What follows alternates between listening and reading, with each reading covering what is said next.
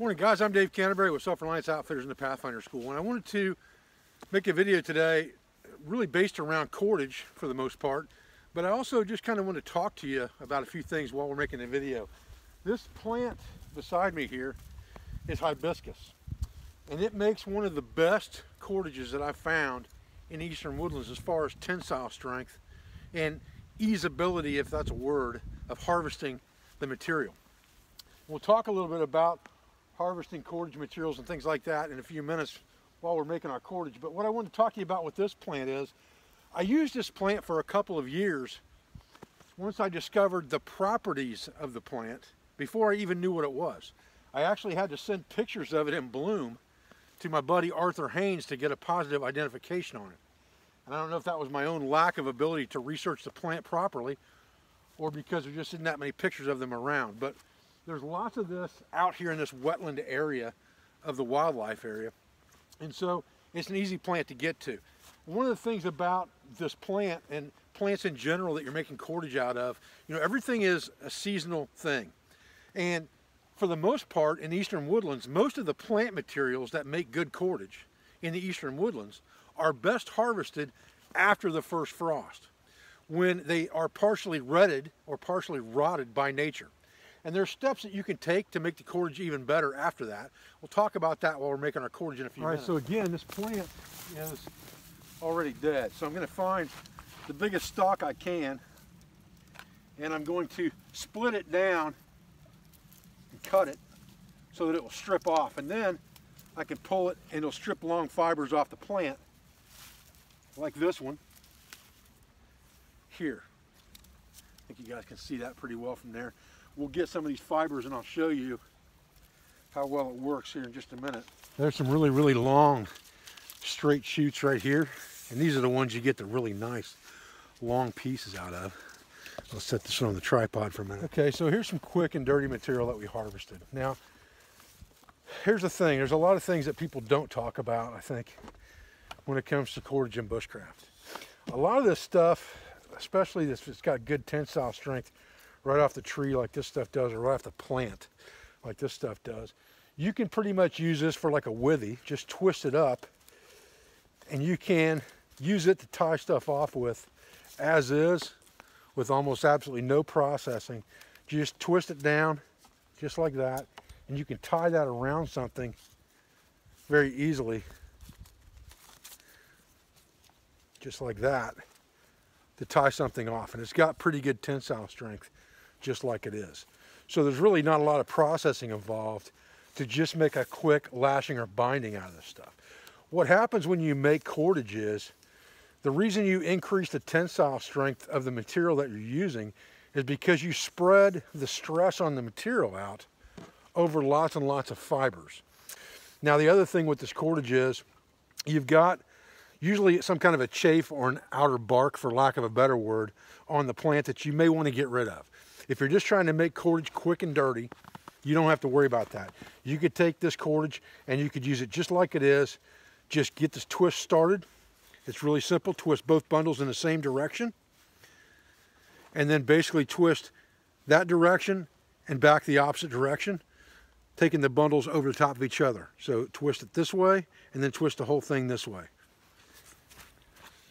So the technique is very simple. You're just twisting one side away from you and then both bundles toward you, the top away, both towards you, the top away, and both towards you. And that's going to alternate them every time.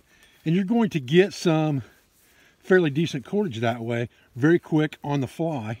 That's going to be really, really strong. So if you're in a hurry to get cordage made and you need it right now, this is an easy way to get that accomplished. And you can see Again, it doesn't take that long, but it is a process. And that's why I recommend carrying cordage in the 5Cs, because making three or four inches of cordage only takes a few, you know, a minute. But to make 400 feet of cordage like you'd have on a roll of bank line could take a long period of time and harvest a lot of materials to do it. So it's easier to carry it. But this is an easy skill to learn, so I consider this a core skill for my students. Okay, so back to the whole thing of this being a core skill. I say it's a core skill because when you're talking about bushcrafting, you're talking about the crafting portion in the bush or in the woods. Whether you call it woodcraft, bushcraft, it doesn't really matter. But the point is that you are making usable objects off the landscape that you can use to make life more comfortable or affect your immediate survival. And cordage is one of those things that you need for almost everything that you do, for lashing, for binding, for tying. You know, if you'd lost everything, God forbid, for a bow drill fire. And this cordage is strong enough for a bow drill fire. No question about that. Now, if you want to make some fine cordage and you're trying to really do this the right way and you've got time to mess around with it, what you really want to do is you want to soak this material in water. And you kind of have to pay attention to how long you're soaking it because you're retting the material. You're helping the material to rot faster. You are, the water is going to separate the fibers from this chaff better. They're also going to release some of the collagens within the material and you'll feel it when you get it out of the water. If, it, if this chaff material kind of just peels off really easy with your thumb and doesn't stick to the material, then it's probably good enough. And you're also going to feel it slimy. If you get it out of the water and you start to work with it and it feels slimy, it leaves a slime on your hands, that's the collagens in the material and you've released those. It's time to start working that cordage. You don't need to let it go any further beyond that. Now, the next thing I want to talk to you real quick is about splicing. And it's really a simple process, but there's a right way to do it. I guess there's no wrong way to do it unless your cord breaks. But there are lots of ways to do it, but I want to show you the way that I teach because I think it's a more a stronger higher tensile strength cordage in the end at the splice. Okay, so let's take some of this cordage here and we'll just cut a piece of it off so that we've got a place we would have needed to splice. Let's say right there. So we get down to where we've got one short side. We'll get a little bit longer there. I want to give myself about an inch and a half or two inches there. And I've got one long side. And so now I'm going to try to take another piece that I split off like this one. I'm going to splice it in. So what I'm going to do when I do that and again, if I had processed this cordage properly, this would be broken down into lots of fibers and not just one solid piece. But for on the fly, this is the way we're doing it. Now you can just overlap just like this and lap joint that cordage and then start twisting that as one bundle and just blend it in. And you'll have this tail sticking out the other end and you can cut that off later. But a stronger way to do that is to actually make a V in the material and put the short side to the long side and the long side to the short side. Tuck that up in there and twist that together as one fiber, just like this. You won't have anything sticking out on the end when you're done. And that V up there means that you've actually woven that splice into both sides of the cordage instead of just into one side. And just keep going until it disappears that thing going here real quick. Won't take but a second.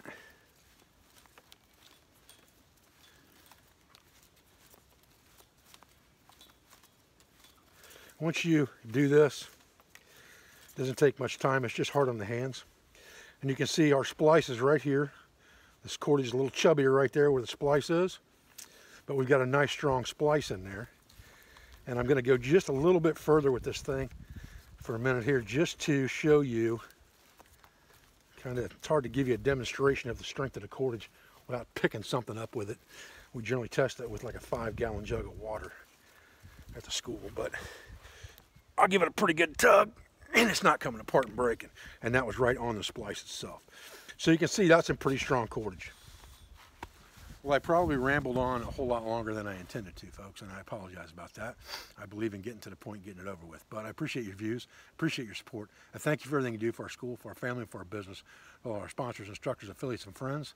I'm going to run back up to the trapper shed and get rid of my traps, and I got to get back to writing my fifth book, which releases late this summer, The Illustrated Encyclopedia of Bushcraft. Thanks, guys.